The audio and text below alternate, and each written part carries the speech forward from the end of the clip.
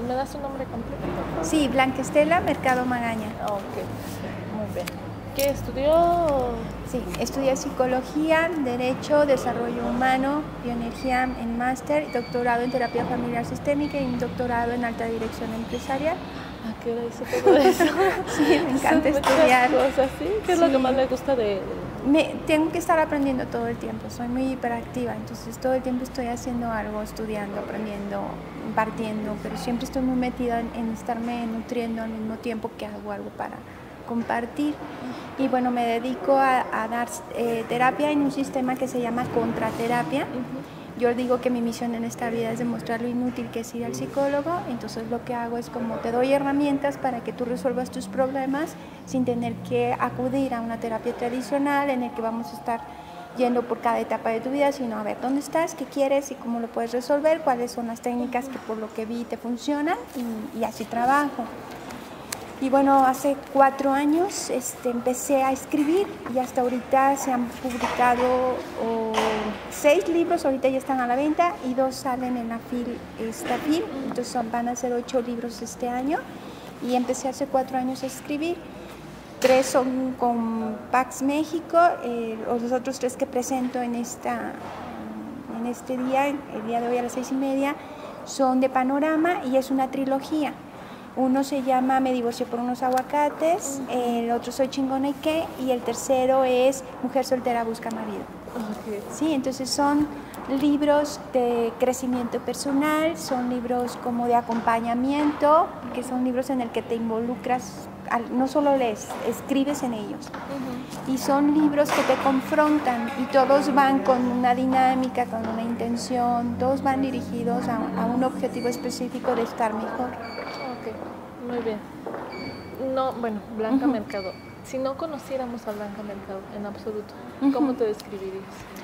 Mm, soy muy creativa, soy muy hiperactiva, necesito todo el tiempo estarme moviendo, soy divertida, este, soy atrevida, a veces hago cosas raras o digo cosas que los demás se sorprenden por la misma hiperactividad, este, me gusta ser diferente, soy muy introvertida, o sea, me gusta mucho estar conmigo, puedo pasar mucho tiempo sola. Eh, me gusta salir hacia las personas a intercambiar y luego disfruto mucho estar conmigo. Este, soy una persona que me gusta mucho leer, amo leer desde niña, me apasiona la lectura y creo que encontré mi misión de vida escribiendo. Okay. Bueno, muchos tienen un trabajo, tú por lo que veo tienes una vocación. Sí. ¿Cómo fue que te diste cuenta de que a esto te querías dedicar? ¿Cuándo fue? ¿Cómo pasó? Em, yo nunca he sentido que trabajo. Siento que la vida ha sido muy generosa conmigo y todo lo que hago es divertido. empecé eh, con lo de la psicología, me doy cuenta que recibo el regalo de que la gente confía y entonces este, yo puedo encontrar soluciones. Alguien me decía, qué terrible es escuchar problemas. No, para mí no para mí es como, ¿qué vamos a hacer? Como no me meto en el problema, de hecho mi sistema es cero, no me cuentes las dificultades, dime qué pasó y qué quieres. Te pongo un ejemplo, eh, me fue infiel, ok, no me cuentes cómo, no me cuentes cómo sufriste, dime qué quieres, seguir con él o no. Sí, seguir con él, ok, trabajemos en eso. Es como sin juicios, como lo que tú decidas, pero hazte responsable y y que te sientas cómodo con las decisiones porque va de acuerdo a tus valores. Entonces, eso es lo que trabajo y me gusta mucho. Y hace cuatro años que empecé a escribir, me detectan un tumor de tres kilos y medio, por eso yo les digo que tengo este, cuatro, cuatro hijos, tres hijos y un tumor que pasaron lo mismo exactamente. Y ese tumor este, me llevó a la situación de, de, tener que ver en riesgo mi vida. Se preocuparon mucho, me dijeron que me preparara. Compré mi urna, una urna de mármol muy bonita. Sí, porque me dijeron que pues era probable que no, que no saliera de esta. Y me despedí de mis hijos, de mi pareja, de mi esposo en ese entonces. Y, y bueno, me preparé. Y cuando hago esa preparación y ese encuentro con, con lo que venía, me pregunté ¿qué me falta hacer? Y era escribir. Entonces me cortó la voz. Eh, era escribir. Entonces empiezo a escribir. Lo primero que me dijeron es, nadie te va a publicar, eso es imposible. Hay miles de escritores, eso es un sueño. Este, ¿Sabes cuánta gente escribe y nadie les publica? Entonces fui a la FIL en Guadalajara y le pedí a mi hijo que me tomara una fotografía en editorial. Le dije, tómame una foto porque te prometo que el próximo año estoy aquí. Y el próximo año estuve ahí firmando autógrafos en la FIL y sí se pudo. De hecho, eso es mi frase, sí se puede todo lo que quieras.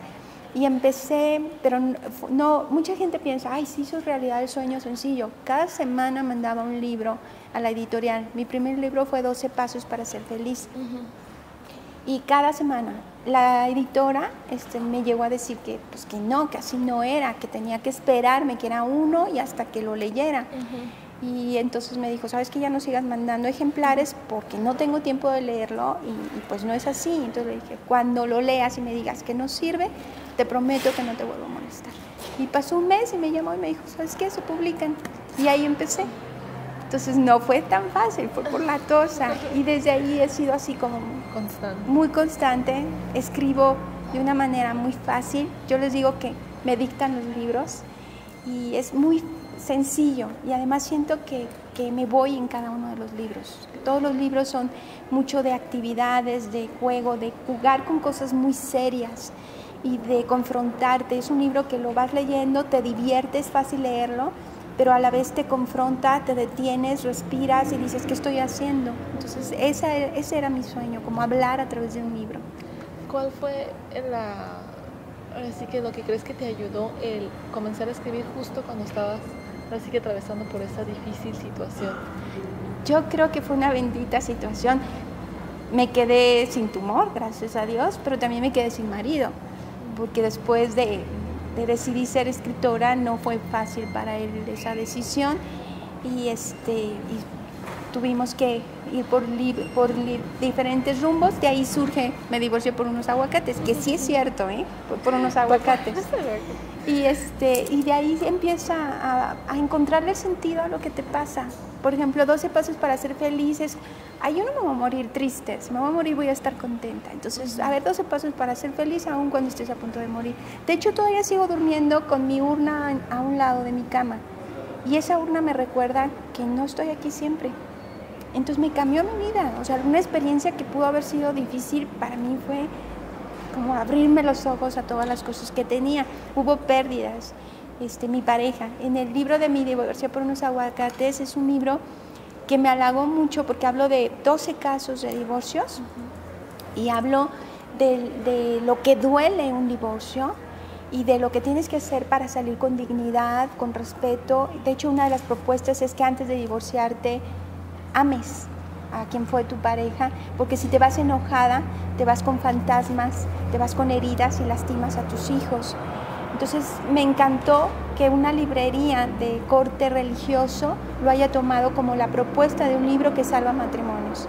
Entonces, para mí fue como un halago, porque soy una persona que cree firmemente en el matrimonio, que las relaciones no son desechables, que, que no puedes terminar una relación así de fácil, pero hay ocasiones que no es posible porque la otra persona no quiere o no puede con la situación. Y entonces terminar una relación con respeto, con dignidad, con amor, con paz. ¿sí? Y creo que esa es la propuesta de mi divorcio por unos aguacates. Luego sigue Soy chingona y que en esta trilogía, que es como libros más atrevidos. Y esta, este libro surge como una investigación durante un año con dos empresarias en Jalisco en las que me permitieron meterme a su vida personal y a sus negocios. Entonces, ¿qué hacen que les funciona, qué no? Y habla sobre el miedo que tiene la mujer al éxito. ¿sí? Es un libro que te dice, no busques pretextos para no ser feliz, no busques pretextos para no tener éxito en la vida. Tú puedes igual que cualquier otra persona. Y a veces inventamos como una razón para que no pueda funcionar lo que yo quiero. Y entonces digo, por ti no tengo éxito, por ti no tengo mi negocio, por ti, hijo. Yo iba a, tener una carrera, pero la dejé por ti. Y el hijo ya tiene 40 años y sigues diciendo que por él. Entonces son mentiras. Entonces, como no te inventes pretextos, los hombres que no han leído les ha gustado mucho para sus esposas. Porque es un libro que te habla de vuélvete cómplice de tu pareja este, siéntete poderosa, no mendigues este, poder, eh, no mendigues la abundancia, compártela con tu compañero. ¿Cuántas mujeres no esconden su cuenta de banco? no les mienten cuánto ganan o le dicen que ganan otra cantidad. Eso no es ser coherente y no es creértela. Entonces son chingones y que es como una manera de decir, sí, tengo poder y, y soy capaz y no tengo miedo y no pasa nada y te vas a dar cuenta que de verdad no ocurre nada cuando empiezas a creértelo. Las personas que se tienen que ir se van a ir, pero si tú tienes claridad mental de lo que estás haciendo, el sentirte poderosa te da un regalo, te da tu libertad. Y luego viene Mujer Soltera Busca Marido, que es la trilogía, el cierre que acaba de salir, también de Panorama. Y este libro es una investigación sobre qué hacemos las mujeres al buscar pareja, de cómo este, elegimos con el corazón y no con la cabeza, este, que no es suficiente elegir una pareja porque te gusta, tienes que saber si te gusta, si tienen intereses afines y si te conviene. Entonces esta parte, le convengo a él, me conviene a él a mí, estamos en sintonía, es también como un estudio de no digas que encontraste una pareja que te hace daño, sino hazte responsable de que te mandó muchas señales de que no quería nada contigo y tú seguiste perdiendo el tiempo. Habla del Señor no compromiso, te habla de, los miedos que alejan a la pareja, de los hombres que no te conviene acercarte, de, las razones por las que atraemos ese tipo de hombres a nuestra vida. Si el problema no es que encontremos estos hombres, sino que a todos esos hombres les damos nuestro número telefónico. Entonces, ese es el lío. Y habla de que te ames mucho, de que te enamores de nuevo y que si estás necesitada de una pareja, te, te mueve muchísimo tener una pareja, por favor no la tengas.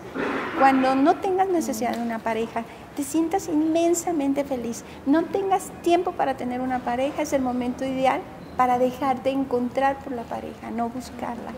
Entonces es como un libro que los títulos son como la invitación, el anclaje y lo que te dicen es como revolcarte en todo tu contenido hasta decir esto es lo que yo quería. Con estos libros, la trilogía y los que salieron al principio, ¿a cuál público es el que crees que tú has tocado más? Mira, me he movido en el área de mujeres, hombres, eh, adolescentes conflictivos, como les llaman, que son mis favoritos. Este, los chicos con trastorno de atención y con hiperactividad, que es el libro que presenté el año pasado aquí en Morelia. Eh, viene un libro que habla sobre hombres también, muy dirigido a ellos, siento que me dirijo al espíritu sin edad. No tienes o sea, no, o sea, cuando surge un libro es pienso mucho en el ser. Por ejemplo, el de Me divorcié, soy chingona, es un libro que le va a ayudar tanto al hombre como a la mujer, que podría leerlo una chica de 13 años viendo este, ese miedo al poder, a la seguridad, esa elección de la pareja. O sea, creo que va dirigido al espíritu. Okay. ¿Por qué el número 12? Lo ¿Por qué 12? Eh, incluso no sabía que eran 12 casos los que tocabas sí. en, el, pero en los primeros que sacaste, el 12 como que es un número que has tocado. Sí, sí, sí. Es cuando pasé por esa experiencia me puse a pensar qué tenía que hacer. Entonces, el primer paso era saber estar yo sola. Entonces, ya mi primer paso para sentirme bien yo sola y, y, hacer mi inventario personal. Y entonces empecé a irme por cada uno de los pasos que me iban dando un significado y llegué a 12 y de, a partir de ahí, de manera inconsciente, todos mis libros tienen 12 capítulos. Sí, se fue dando. Sí, y las, las mujeres que trabajé en Soy Chingona y que eran 12. Entonces siempre se ha ido por la parte del número 12, pero muchas fueron inconscientes. De hecho, en Soy Chingona y que eran 11 empresarias. Y este, invité a una empresaria muy joven, Adriana, que, que, ella iba a estar apoyando, pero no iba a ser parte del grupo. Entonces se fue dando la dinámica y al final hay un capítulo dedicado a ella que se llama La chingona que no sabía que era chingona. Entonces salió 12 capítulos, 12 personajes, pero eso ya se ha ido dando como sin querer, no sé, yo creo que me gusta el 12. ¿Significa Sí, algo ha de ser. algo ha de ser, ok. Dices que te gusta a ti, aparte de escribir, leer. Sí, mucho. ¿Qué lees?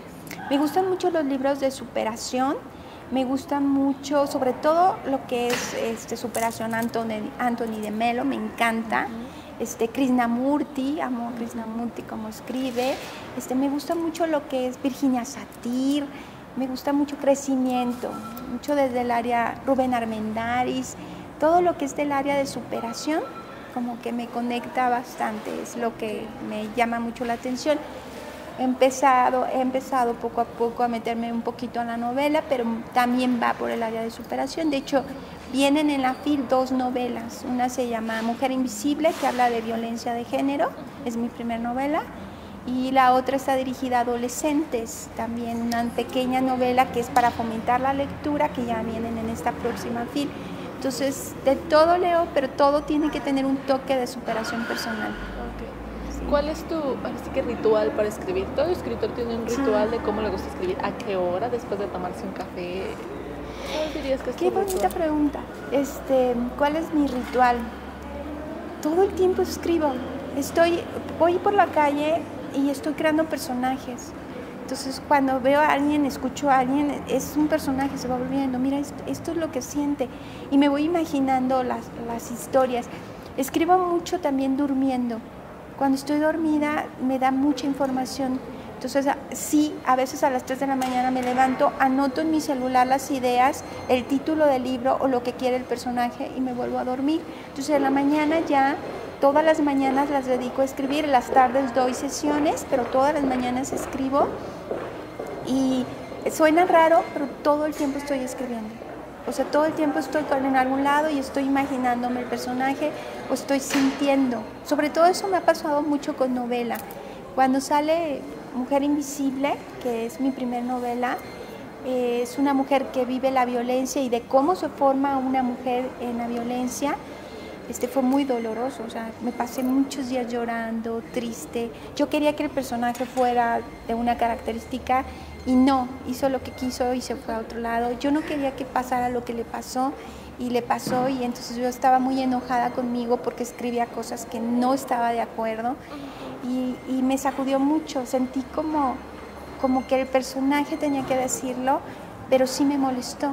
Y a veces me ha pasado que, por ejemplo, voy a una presentación en el avión y alguien está hablando y me platica y me dice algo y se convierte en un personaje de mi novela y es así, o sea, se van volviendo, como que es una madeja. Por eso digo que todo el tiempo siento que estoy escribiendo. Ok, en este caso, ¿cuál considerarías entonces que es tu principal fuente de inspiración?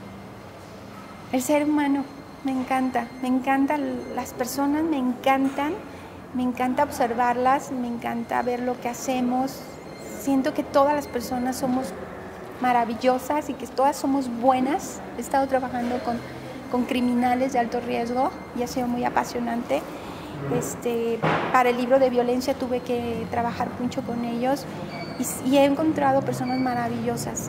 Cuando me han invitado a dar conferencias con personas, hombres que han sido violadores o que han estado este, haciendo cosas muy crueles con la mujer, lo que pido es que no me digan quién es. Y entonces al dar la conferencia, imagínate hablarles de, del amor, del respeto, de los límites, de todo eso este, como no sé quién hizo qué, este, me puedo mover, los puedo tocar y, he sentido a las personas su corazón, su dolor, su tristeza, su llanto. Me he sentido su mamá, su hija, su hermana y me doy cuenta que todos somos buenos y que cuando hacemos algo fuera de lugar es por ignorantes, no por malos. Entonces creo que ser humano es lo que me inspira. Ahora, cuéntame de tus hobbies, aparte de leer, por ahí leí que te gusta el deporte. Sí, me gusta mucho correr, corro todas las mañanas, voy al Colomos, este, salgo con más o menos como a las 6 de la mañana y corro de 6 a 8. Me gusta correr, me gusta leer mucho, me gusta mm, escribir, mis pasatiempos viajar estar con mis hijos, amo a mis hijos, me la llevo súper bien con ellos, tengo tres hijos que son para mí muy importantes y mi vida es eso, mi trabajo, el deporte, mis hijos, este, estar mucho con Dios, para mí es mucho mi fuente. cuéntame de tu familia, me dices que tienes tres hijos, ya están grandecitos. Sí, sí, sí, el más grande tiene 23 años, es ingeniero, el que sigue es, eh, licenciado en cine, él tiene 20 años y la más pequeña tiene 17, Mariana. Y este, trabajan conmigo, son, eh, bueno, el más grande ya está independiente, ya está formando parte de una empresa muy grande que lo llamó. Eh, los otros dos todavía están conmigo apoyándome en, algunos proyectos de cine, en mis videos y promoción. Aparte tiene su proyecto personal y la más pequeña también trabaja conmigo como mi asistente. Entonces es como la trampita que puse para no dejarlos para estar con ellos en todos lados y también para mí ellos son muy importantes, estar como comunicados. Por eso insisto mucho en, el, en lo del matrimonio, porque algo que, que nunca encuentras eh, cuando terminas una relación es la emoción de tu pareja al ver, a, cuando cuentas algo de tus hijos. ¿sí? Por más galanes que tengas, nunca encuentras eso. Y eso me hizo como que renunciar a cualquier parte que no sea el encuentro de lo que ya tuve una pareja y ahora quiero como cerrar mi ciclo en la formación y, acompañamiento de mis hijos. Por eso para mí es muy importante como trabajar por el matrimonio. Muy bien. Ah, has logrado mucho. Cuando eras pequeña, ¿cómo te imaginabas? ¿Cómo te veías? ¿Te veías así como sí. estás? Justo así. Sí. ¿Qué, veías cuando decías? Fíjate que me regaló una, una paciente una escultura que tengo en mi oficina en la que está una niña de tres años frente a unas almohadas dando conferencia y está una mujer y la sacó de unas fotografías del Face dando este, conferencias y con sus libros alrededor, la portada de todos mis libros que llevo hasta ahorita. Me encantó ese ah. regalo. En algún momento yo les comenté que cuando tenía tres años me subía al tocador de mi mamá y ponía todas las almohadas de la casa y les daba pláticas. Yo aprendí a leer, en, mi abuela le heredaron cajas de libros que olían a humedad este, y empecé a leer ahí sola, o sea, empezaba a tomar, a ver las ilustraciones, a preguntarle a mi abuela qué decía y alrededor de tres, cuatro años leía, pero yo sentía como las ganas de, de poder decírselo a alguien, entonces jugaba mucho esta parte de dar pláticas. Cuando estaba en la secundaria guardaba mis diapositivas de tarea porque yo decía, es que yo voy a dar conferencias y todo el mundo se reía. Y se hizo, se hizo. Entonces creo que exactamente lo que estoy haciendo ahora es lo que siempre he querido ser. ¿Hay alguna frase que tengas, hace ratito como que me mencionas, una, frase que tengas de esas que casi quieres escribir en la pared de tu cuarto porque es lo que te mueve todos los días? Sí, tienes lo que crees que te mereces. Sí, sobre todo cuando me va bien en la vida, digo, bien Blanca, tienes lo que crees que te mereces. Cuando me va mal, entre comillas, digo, bien Blanca, tienes lo que crees que te mereces, no te gusta, cámbialo. Y esa es mi frase, o sea, como nada de hacerte la víctima. Tú lo creaste, tú lo generaste, porque tú creíste en eso, le pusiste atención y entonces me hace como muy responsable. Y de hecho lo que acabas de decir es muy interesante, está grabada en el muro de mi recámara, ah. en la cabecera. Dice, Blanca, tienes lo que crees que te mereces y tengo mucho cuidado en lo que creo. ¿Qué sigue? ¿Proyectos a futuro? ¿Qué sigue? Em, escribir, más escribir. Y me veo yo sé cuándo voy a morir, voy a tener 80 años, sí, voy a tener 80 años, voy a estar dando una conferencia este, después de dar la conferencia de presentación de un libro, muchos libros, van a ser muchos, demasiados. Este, voy a ir a acostarme al camerino un ratito y voy a morir. Entonces ya está programado. Voy a escribir, me veo escribiendo, viajando, me veo con un trabajo muy profundo con, con los libros. Y ya por último, cosas más este, ligeras, especiales. Dime cuál es tu libro favorito. Mi libro favorito es Autoliberación de, Auto, de Anthony de Melo. Me gustó muchísimo, me sacudió mucho y tan sencillo, tan simple. ¿Él es tu autor favorito? Sí, sí, sí, no, es mi autor favorito. Ok, muy bien. ¿Tu comida favorita? Mi comida favorita, me gustan muchas cosas, las enchiladas, el pozole, los tacos, la comida mexicana, el mole, el pollo, todo. Tengo hambre. Ya. Ahorita Por cierto. Sí, todo lo que es. Por eso amo Morelia, me encanta. Todo lo de Morelia me encanta. ¿De dónde eres De Guadalajara. ¿Y ahí vives? Sí, sí, sí. O sea, eres de ahí. sí, y ahí pues radico. Ahí se hacer realmente todo. Sí, es una ciudad muy, muy grande ya. Y tiene mucho potencial. sí, te mueves fácil. Sí, ahí estoy y sí, toda la comida me gusta, pero mexicana me apasiona, me encanta. Okay. ¿Tu lugar favorito? Mm, me gusta las montañas, me gusta estar aislada en cabañas y disfruto muchísimo, pero también disfruto cuando salgo. Tengo unos periodos de ermitaña y unos periodos que estoy muy en contacto con la gente. Más o menos paso como dos semanas metida mucha gente y después tengo que meterme a, aislarme. Generalmente mi lugar favorito es una montaña, un lugar donde esté sola, en una cabaña música favorita? La música, me gustan mucho los cantos, los cantos que te alabanza, me gusta bastante. Generalmente es lo que escucho, alabanzas. Deporte me decías que correr. Correr, correr. ¿Qué es lo que te deja? Cuando vas corriendo sientes libertad, sientes poder, sientes fuerza y además se me ocurren muchas ideas. Y además donde corro, que es en Colomos, hay conejos, peces, ardillas. Entonces es muy divertido, me gusta ir a correr, me gusta desayunar en la naturaleza y ya después regresarme a trabajar y demás. O sea, soy como mucho de contacto. Abrazar a los árboles me encanta. Sí, lo disfruto mucho. Esa es de mis actividades favoritas. Pues Ah, muchas gracias. gracias. Gracias. Sí, pero 20 minutos, yo les dije. Ah, mira qué puntual. Gracias.